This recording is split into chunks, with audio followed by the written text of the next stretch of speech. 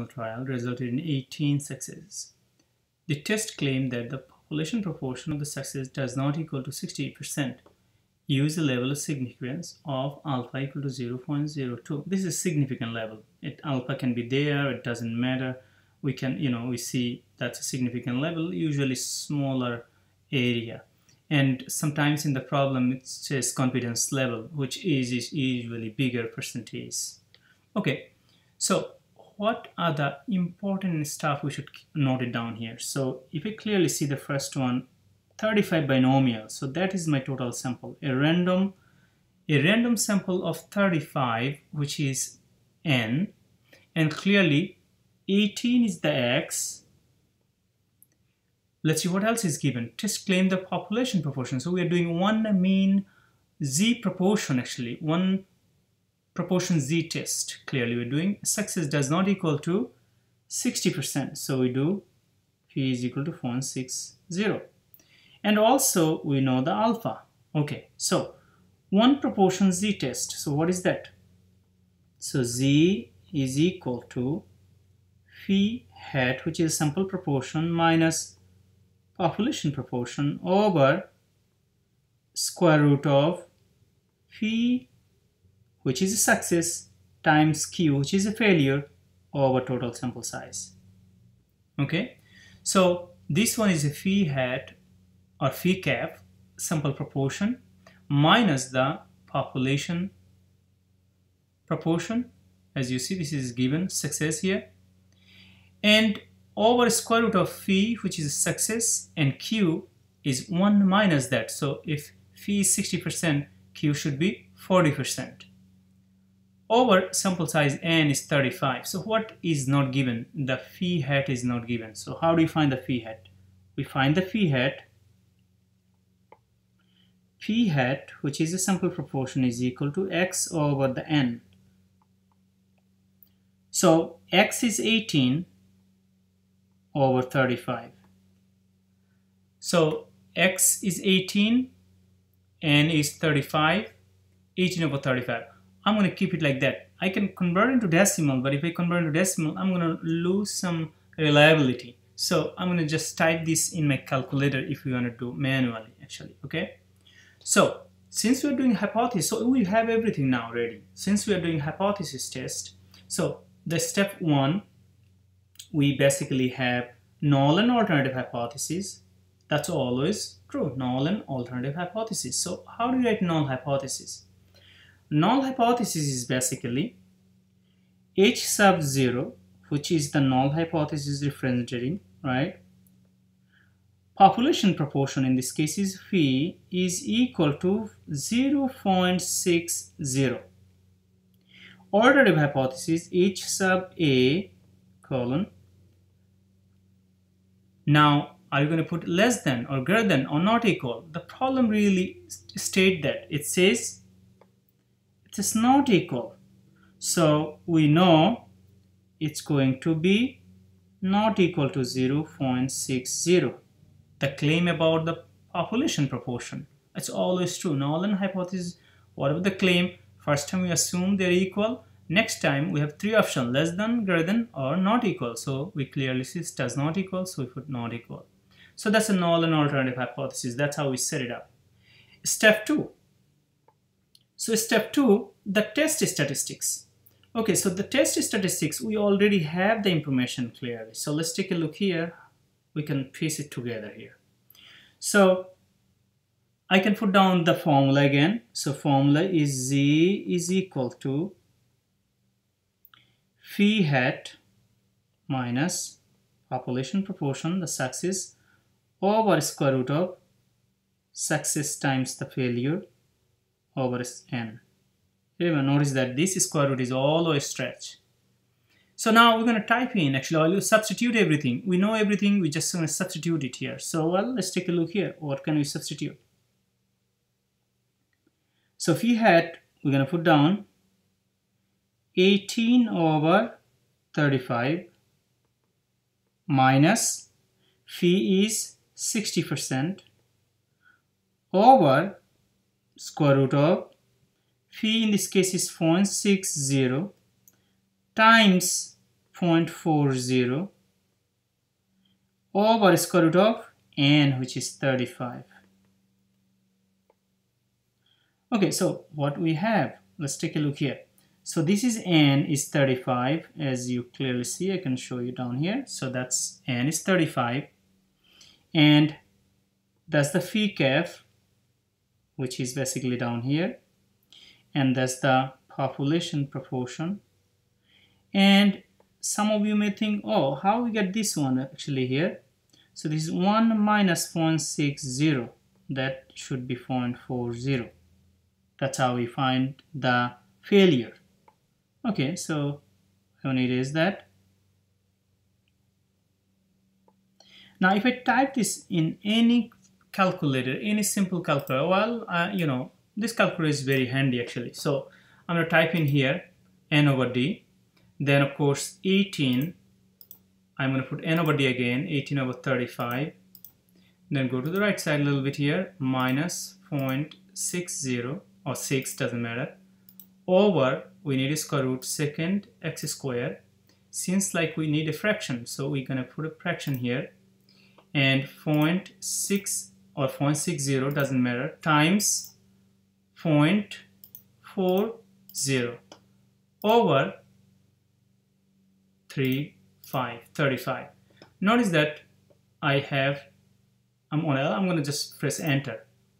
You see negative 1 point so many big number. So well it gives me 1 negative 1 point 0 I'm going to round to the fourth. I'm going to round 3 to the fourth because z table doesn't have more than two decimals so we must round into two decimal places. You can even do it here. Mode go to float and go to two decimal places. Enter clear enter. As you see it's just rounding for you. So that's how we can use. This calculator is very handy. So negative 1.04 so once I say that right there I have to actually change that to equal. So this time is approximately approximately 1.40 so that's what that's the z statistic. Okay next thing we do step three. That is the big fish here. We're looking for phi value. So there is a, well, we have to find the phi value, but there is something we have to remember or we're going to actually make some um, in, intuition how to come up with a decision actually. So I'll, first we find the phi value. So what is the phi value here? So phi value is going to be, we're going to go to the z table. Remember this is z test. So we're going to go to z test negative 1.04, negative 1.04 so if you go down here, negative 1.04, 1.0, so this is 1.0, 0, 1, 2, 3, 4. So that's basically the 0.1492 for one tail. So 0 0.1492. Remember, this question is telling us that it's two-tail test, it's two-tail. So what do you have to do? You have to multiply by 2. So we multiply by 2. So in a simple calculator, I did ahead of time and it gives me 0 0.2984. That's a phi value. In other words, this is the probability. So how do you do that here? So we can basically draw this up here, the normal curve. This is 0, 1, 2, 3, 1, 2, 3, and negative 1, negative 2, negative 3. And that's a 50%. Now, if, if you look into this one on the right side or left side, they said negative 1.04 so negative 1 point so it's a little bit above or sorry a little bit left this point negative 1.04. Now we are looking for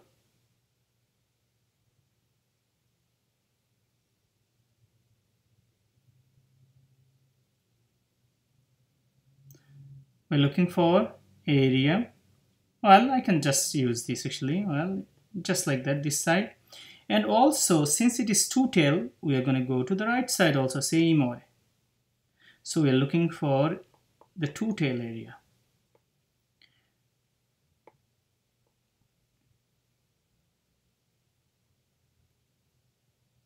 Okay so clearly we see the answer we had that was for sorry about that that was for one tail. As you see this is for one tail. Now this this piece is 14 uh, 14.92% or 0.1492 plus this one or multiply by 2 is gives this piece and this piece is 29.84 okay so now how do we find how do we decide that we keep the null hypothesis or we don't keep the null hypothesis? We reject the null hypothesis or we fail to reject the null hypothesis? Let's take a look here. Our decision. So our decision is going to be basically if p value if phi value is greater than or equal to alpha we do not reject we do not reject null hypothesis. Now let's take a look here. So what is our phi value and what is our probabilitical uh, well what is the alpha is given here okay so if I look into here on top the alpha is given as a 0.02 percent so I'm going to compare it actually here so alpha is given as a 0 to 0, 0 0.02. Alpha is given as a 0 0.02. Whereas this p value is we found 0.2984. So this p value is way bigger than the alpha. So we do not reject the null hypothesis. Clearly you see phi value, that's the phi value, is greater than or equal to alpha. This is alpha, 2%. Again, this is the threshold actually, okay? 2%. This is basically outside here, but this is inside. The probability is inside. So as you see, this 2% is outside. So we reject, we do not reject. It's falling inside actually. So we do not reject the null hypothesis. So we say we fail to reject fail to reject null hypothesis. So that is our decision here. How do we write our conclusion? So our conclusion is very straightforward. We say at 2% significant level, data does not provide sufficient evidence to reject the null hypothesis and we just add the last sentence or claim. Again, whatever alpha, that's how we write a conclusion or interpret it.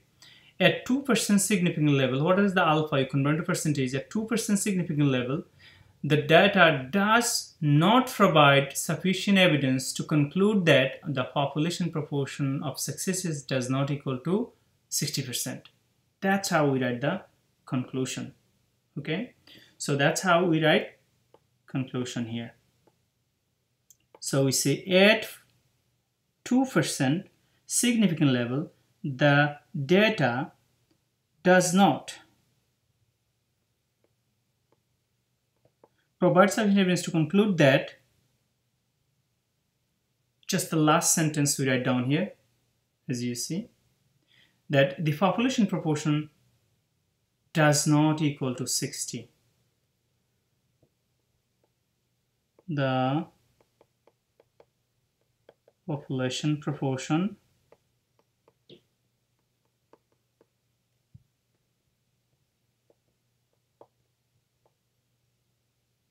equal to 0 0.60. That's all. This is a five-step hypothesis test. First, we found out the key information and whatever is missing, we look for that. Sample proportion, we always find x over the n.